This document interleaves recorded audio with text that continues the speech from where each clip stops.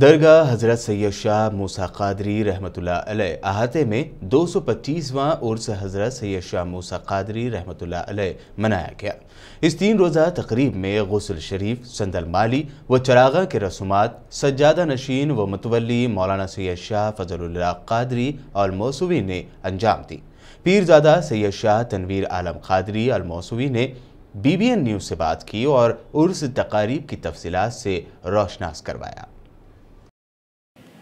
میں پیرزادہ سید شاہ تنویر عالم قادری الموسوی، خلف سوم تقدس ماب احسن المشائق، حضرت مولانا پیر سید شاہ محمد فضل اللہ قادری الموسوی، سجاد نشین و متولی بارگاہ جات موسویہ و مسجد، عرس شریف کا آغاز، دو سو پچیسویں عرس شریف کا آغاز، جگر گوش حضور سیدنا جناب شیخ عبد القادر جیلانی رضی اللہ تعالیٰ عنہ، حضرت سیدنا سید شاہ موسیٰ قادر رحمۃ اللہ علیہ کا عرس شریف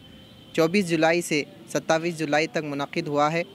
بیس ذیقادہ کو بعد نماز مغرب نیاز کشتی مبارک سے عرس شریف کا آغاز ہوا۔ اکیس ذیقادہ کو بعد نماز اثر محفل قصید برد شریف بمقام مسجد موسویہ میں اور بعد نماز مغرب سندل جلوس سندل مالی بدست حضور سیدنا سید شاہ فضل اللہ قادری الموسوی صاحب قبلہ انجام دیے ہیں۔ تیویس ذیقادہ کو بعد نماز مغرب جلسہ سیرت اولیاء، جس میں علماء اکرام مشائق نظام مخاطب فرمائے، خصوصاً اس میں حضرت مولانا حضرت مولانا شاہ محمد فصیح الدین نظامی صاحب، حضرت مولانا عزیز اللہ قادری صاحب،